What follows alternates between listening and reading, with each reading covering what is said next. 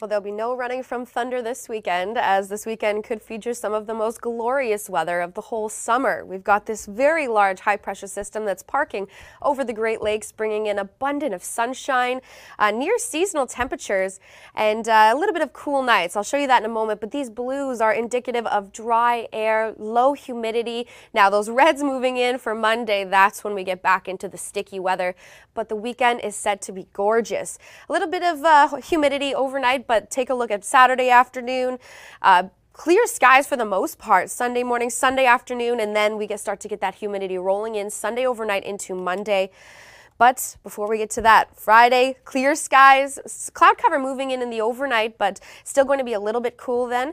Saturday afternoon, plenty of sun, a little bit of cloud moving in through cottage country, northern Ontario, creeping down into southern Ontario overnight. And then Sunday, those clouds really start to push in from the southwest as a system makes its way in.